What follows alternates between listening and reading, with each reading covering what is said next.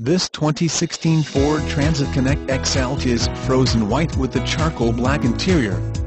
This Ford Transit Connect XLT comes with great features including keyless entry and tire pressure monitors.